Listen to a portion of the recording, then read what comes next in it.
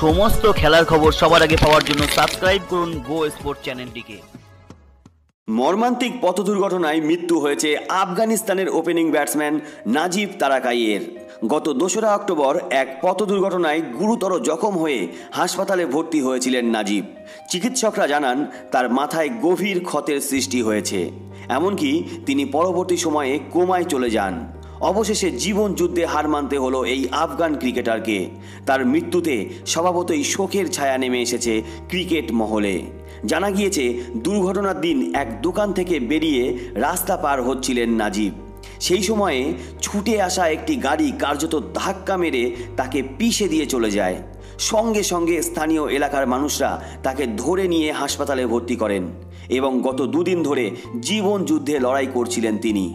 কিন্তু বাইশ গজের এই আফগান তারকা জীবনের লড়াই করতে পারলেন না। অবশেষে মৃত্যুর কোলে ঢলে পড়লেন নাজিব। এই আফগান ক্রিকেটার দেশের হয়ে একটি একদিনের ম্যাচ এবং বারোটি টি টোয়েন্টি ম্যাচ খেলেছেন।